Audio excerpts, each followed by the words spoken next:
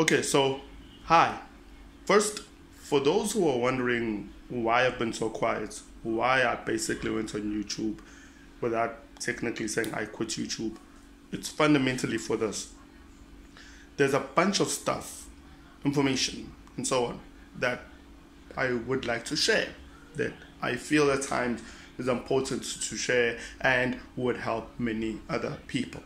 The problem is with YouTube, it's very different because obviously one you need to actually record the video then you're supposed to edit the video when there's so much you need to do. And realistically speaking i don't know whether you really need to see this right here right?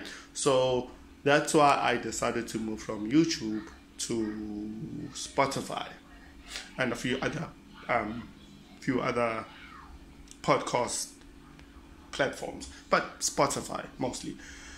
So, again, that's because all I need is silence, or at least as quiet as possible, and I can just start recording, and they're pretty much done, right? So, it takes a fraction of the time.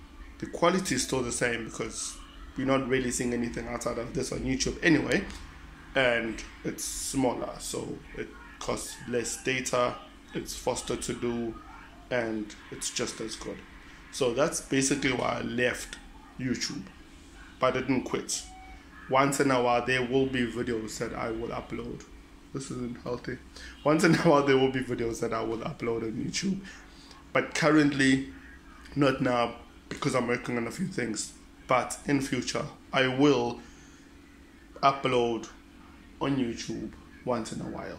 Not as consistently, but I will at points when I feel it's necessary and it has to be on video, then perhaps I will at that time. Otherwise, if it's just audio, it's good enough. There's no reason for me to force a video when you can just go with audio. So go out to Spotify and I'm also in the transition of changing. So check investment education on Spotify and a bunch of other platforms. Um, or check DFG Capital that's what I've been working on, DFG Capital. Um, I will probably post a logo of it somewhere. There's also a DFG Capital on Facebook page. The logo should be the same on the podcast and on the Facebook page. And I'm going to try and put it on this YouTube channel just so you can able just so you're able to see the logo in advance and know that it's essentially the same place, same platform with a few new better features. So that's what I've been working on. I will explain more in the whole DFG Capital thing, just explaining to YouTube first. Cheers.